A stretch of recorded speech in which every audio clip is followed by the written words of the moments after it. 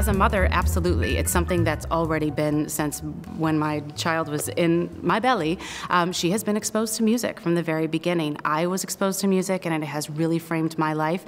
And even if she doesn't want to be involved in the arts uh, in a professional way, I feel that just having an overall appreciation for it and understanding in a way that you can speak to arts um, from an educated and just um, having access to it is so important. So for me, I'm most excited about her to have the ability to have an experience and an education where arts are crucial to it. Um, with the program with Nord Anglia specifically, we keep saying your students do not have to be performing artists. We're not training the next level of Juilliard students. What we're doing is providing access to the arts in very unique and meaningful and exciting ways.